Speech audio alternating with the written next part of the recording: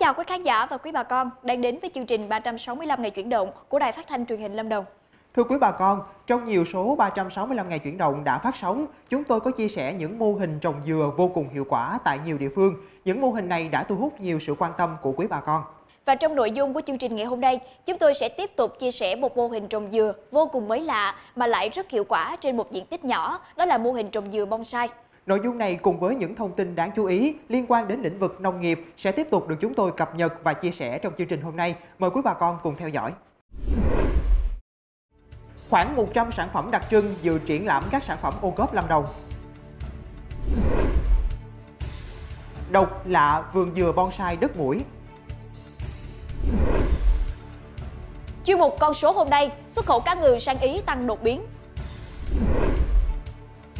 Chuyên mục chuyện nhà nông, hợp tác xã Hiền Thi làm giàu nhờ liên kết tập thể. Mở đầu chương trình hôm nay như thường lệ sẽ là những thông tin đáng chú ý được chúng tôi cập nhật từ tỉnh Lâm Đồng. Thưa quý vị, tại thành phố Đà Lạt, Sở Nông nghiệp và Phát triển Nông thôn tỉnh Lâm Đồng đã phối hợp với các địa phương và doanh nghiệp tổ chức chương trình triển lãm các sản phẩm ô cóp. Triển lãm có khoảng 100 sản phẩm đặc trưng của tỉnh Lâm Đồng đã được các cá nhân, doanh nghiệp, hợp tác xã trực tiếp sản xuất và trưng bày.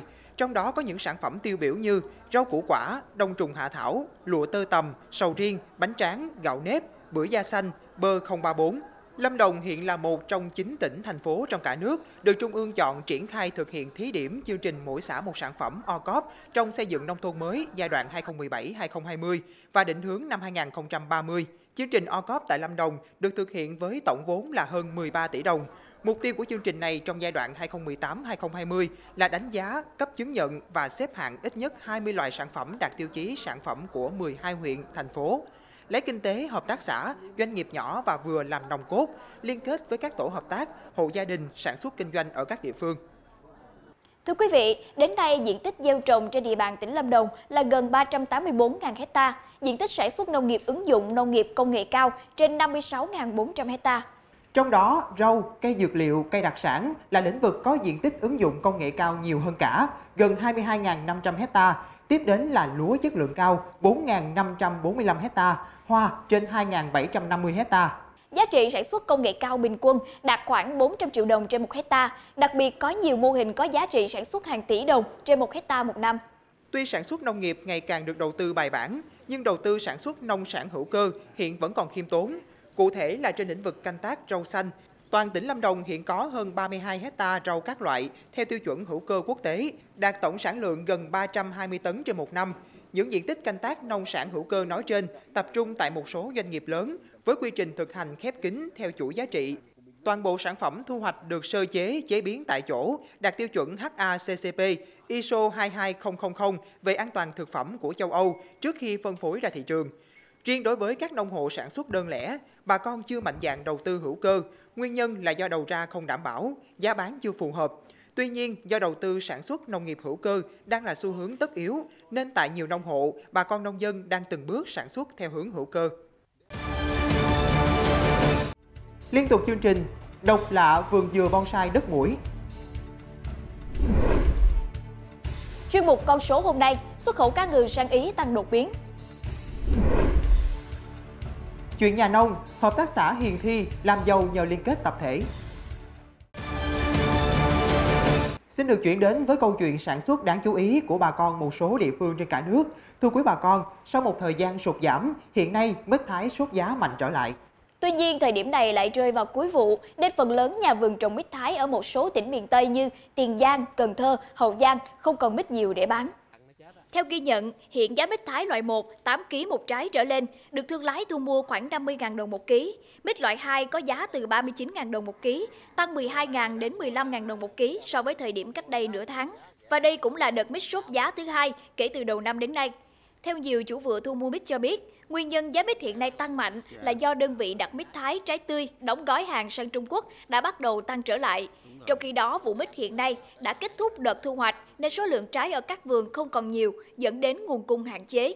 Chính vì thế nên mặc dù hiện nay giá mít ở mức cao ngất ngưỡng, nhưng nhà vườn cũng không còn nhiều mít để bán. Nếu như trước kia mỗi vựa mít trung bình mỗi ngày thu mua từ 5 đến 10 tấn mít các loại, nhưng hiện nay sản lượng thu mua đã giảm gần 70%. Gia đình bà Nguyễn Thị Tú Anh ở thôn Đâm, xã Diên Phú, thành phố Pleiku, Gia Lai, lâu nay nổi tiếng với nguồn thu nhập cao từ vườn cây ăn trái.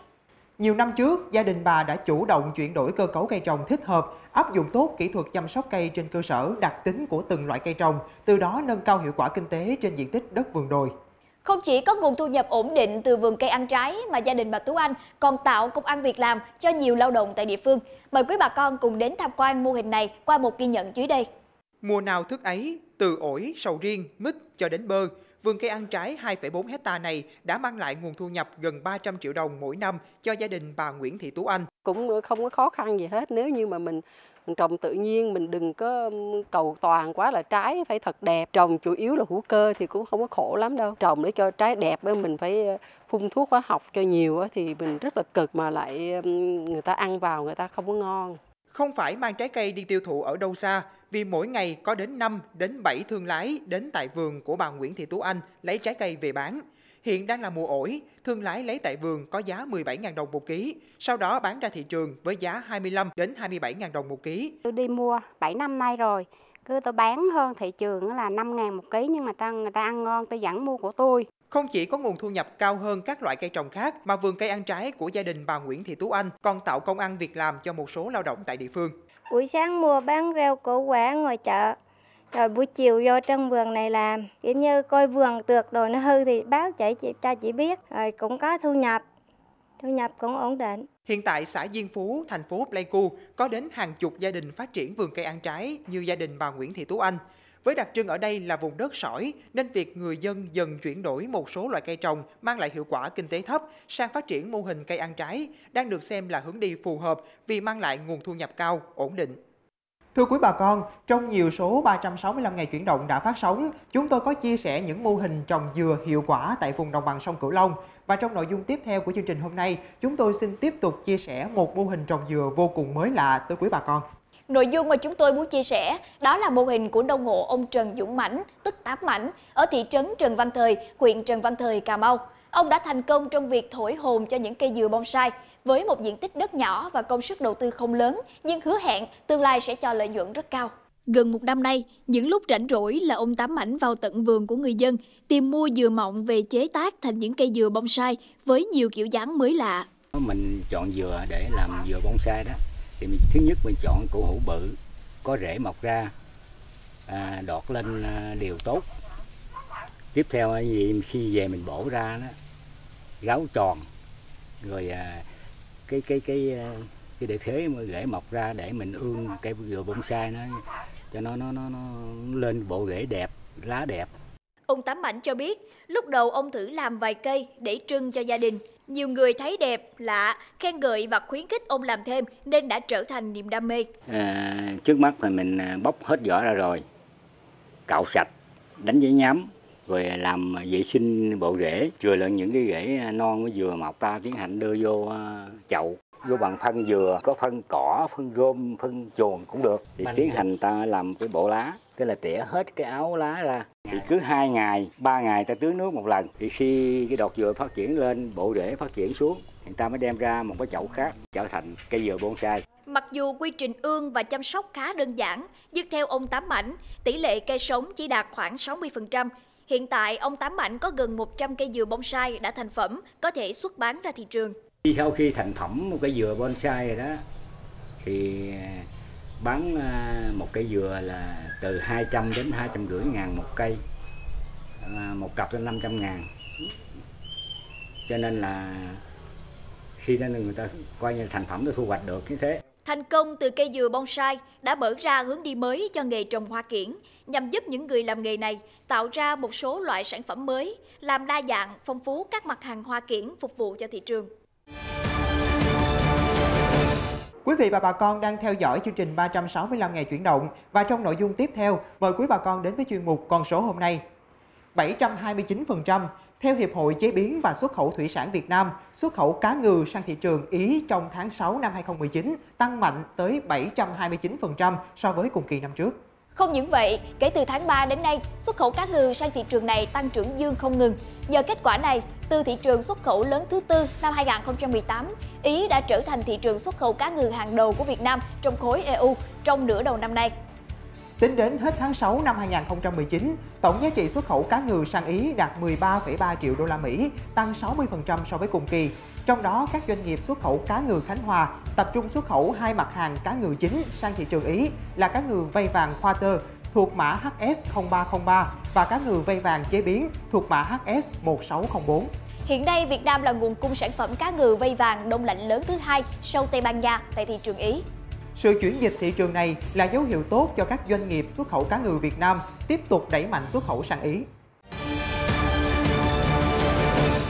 Thưa quý vị, nội dung tiếp theo của chương trình sẽ là thời lượng dành cho chuyên mục Chuyện nhà nông, chia sẻ những câu chuyện mô hình sản xuất đáng chú ý của bà con trong và ngoài tỉnh Lâm Đồng.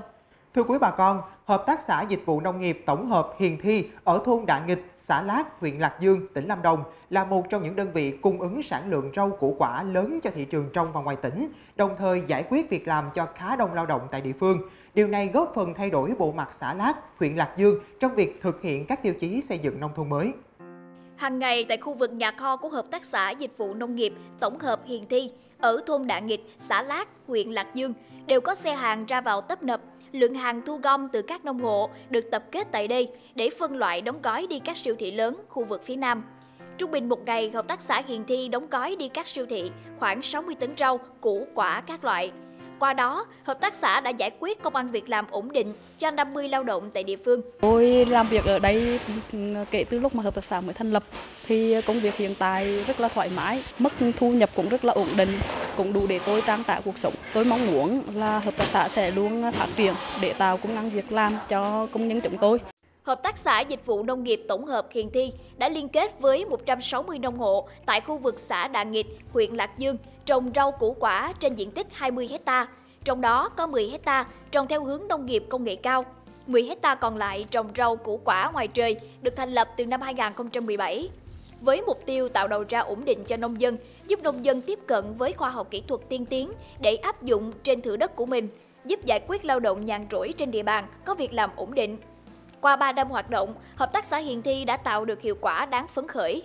Ngoài cái việc đầu tư về vốn và những cái mảng kỹ thuật đó, mình à, học hỏi kỹ về kỹ thuật chăm sóc cây trồng và giảm lượng sử dụng những cái chất à, hóa học trong à, trong trồng trọt á, tạo công an việc làm cho người nông dân. Làm việc trong hợp tác xã này mình được sẽ được hỗ trợ về về kỹ thuật và cái cái đầu ra ổn định cho cái sản phẩm của mình. Với những kết quả này, Hợp tác xã Hiền Thi đã góp phần thay đổi bộ mặt của thôn Đà Nghịch, xã Lát, huyện Lạc Dương trong việc thực hiện các tiêu chí xây dựng nông thôn mới. Mục tiêu của chúng tôi là cái uy tín của mình tạo nên cái kết quả của ngày hôm nay và chúng tôi cũng đã ký được rất nhiều hợp đồng và cái sản phẩm của chúng tôi sản xuất ra để tiêu thụ hết và không có bị tồn động và hàng của chúng tôi đều được giải quyết trong ngày. Tôi đang mong được các ban ngành có liên quan tạo điều kiện và cho bên hợp tác xã chúng tôi và xây dựng thêm được một cái kho trữ hàng cho nông dân vào cái mùa vụ khoai hành ấy à, rất là cần kho để dự trữ. Sự cạnh tranh mạnh mẽ về quy mô sản xuất, tìm đầu ra ổn định cho sản phẩm và nhất là tạo môi trường liên kết bền vững trong nông dân, Hợp tác xã Dịch vụ Nông nghiệp Tổng hợp Hiền Thi được xem là hướng đi cho sự phát triển kinh tế tập thể ở địa phương nhờ mang lại giá trị kinh tế cao trong chuỗi phát triển giá trị nông sản của tỉnh theo chiều hướng hội nhập sâu rộng. Nội dung chia sẻ đáng chú ý vừa rồi trong chuyên mục Chuyện nhà nông cũng đã khép lại chương trình 365 ngày chuyển động hôm nay. Quý vị và con quan tâm, đóng góp, chia sẻ thông tin, vui lòng gửi email về cho chương trình tại địa chỉ 365 ngày chuyển động ltv@gmail.com hoặc có thể gọi điện thoại về số 02633 829 930. Khánh Tường và Ánh Nguyệt xin kính chào tạm biệt và hẹn gặp lại trong chương trình ngày mai.